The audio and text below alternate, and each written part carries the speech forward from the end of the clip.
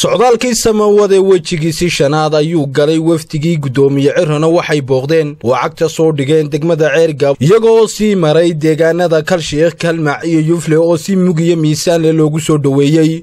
Ujeeddada socdaalka wafdigan ayaa salka ku haya inay bulshada ku booriyaan qaadashada kaadhka diiwaangelinta codbixiyayaasha markii wafdigu soo gaadhay degmada yufle dadweyne lulaya calanka muuqa dheer ee xisbiga wadani ayaa guddoomiyaha ku qaabilay halkaasi waxayna dareen cod dheer ku sheegeen inay si midaysan ka degma ahaan isu barbartaagayaan isbeddelka dalka ka dhacaya. Waxaana halkaasi ugu horraynba shacabka degmada yufle kala hadlay guddoomiyaha xisbiga wadani iyo gobolka sanaag maxamed jaamac xasan daadey iyo dadnimadweynaha reer yufle dadweynaha ku soo dhoweeyey guddoomiyaha xisbiga wadani ahna musharaxa madaxweynaha ahna madaxweynaha mustaqbalka ee somalilan ayuu idinla hadlayaa waxaanu soo dhowaynaynaa dhammaan soo dhowaynta fiican iyo oo wanaagsan ee quruxda badan ee ay ku dheehan tahay wadaninimadu xisbiga wadani mudane cabdiraxmaan cabdulaahi ciro ayaa ugu horreynba xadhigga ka jaray xafiiska xisbigaasi ee degmada yufle waxaana uu guddoomiyuhu halkaasi kala hadlay shacabka degmada yufle.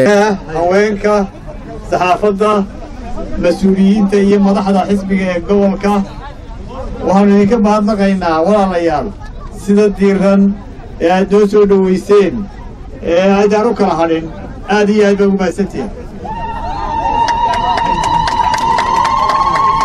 waxaannu ku soconnaa waxaannu idinku nimi samawada sanaag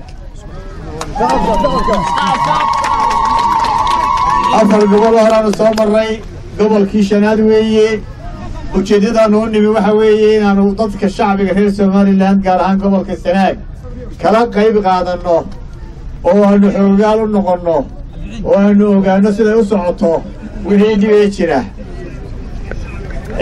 diiwaangelinta muwaadiniinta reer somalilan ee hadda ka bilaabmaysa gobolka sanaag khamiista haddii allayfo waxaannu ku guubaabinaynaa oo ugu baaqaynaa gaar ahaan shacbiga gobolka sanaag in muwaadin kasta oo gaadhay da'da sharcigu u oggol yahay inuu isdiiwaangeliyaan ugu baaqaynaa waxaannu gaar ugu sii baaqaynaa degmooyinka gobolka sanaag ee aan hore uga dhici jirin doorashooyinku iyo diiwaangelintuba insha allahu in shacbigu heegan u noqdaan una diyaargaroobaan inay isdiiwaangeliyaan badan baynu uga faa'iidaynaa.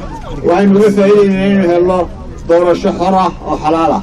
Waxaynu uga faa'iidaynaynaa inaynu ogaano shacbigeennu iyo tiradiisa. Tartan baa ku dhex jira waxaan filayaa gobolka sanaag waa gobolka ugu baaxadda weyn. Juqraafi ahaan marka la eego somalilan oo boqolkiiba afartan buu noqonayaa. Waxaan rajaynayaa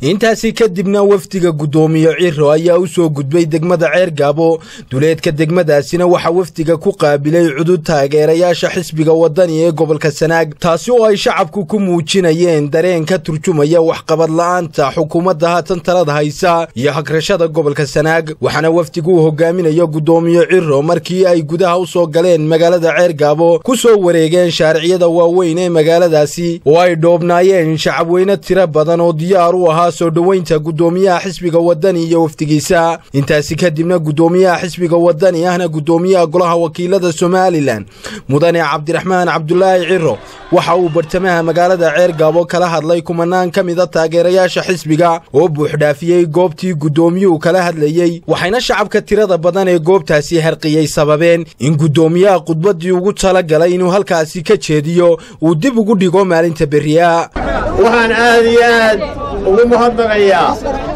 shacbiga gobolka sanaag degmada cerigaabo waxaan uga mahadnaqayaa sida aan la qiyaasi karin ee midnimada uga muuqato ee aan loo kala hadhin ee u soo dhowayseen wafdiga samawade sanaag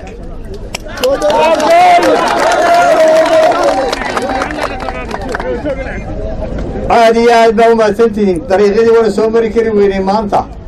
Khudbaddeenni dubbay u dhacday. Aad iyo aad baan idinka mahadnaqayaa. Khudbadaheennii berri baynu u dhiganaynaa. Maantana waynu kala waynu tala tegaynaa iminka. Waa inoo berrito. Salaamu calaykum si kastaba ha ahaatee guddoomiyaha xisbiga waddani iyo wafdigiisa ayaa la odhan karaa tani waxay noqonaysaa soo dhoweyntii ugu ballaadhnayd ee lagu qaabilo mas'uul ka tirsan xisbiyada qaranka. Cabdiraxmaan axmed ilsar